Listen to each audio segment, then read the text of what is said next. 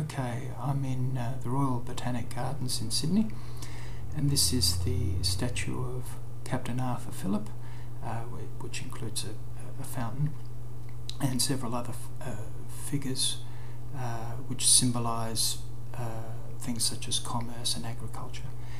Um, uh, Captain Arthur Phillip was the first governor of New South Wales.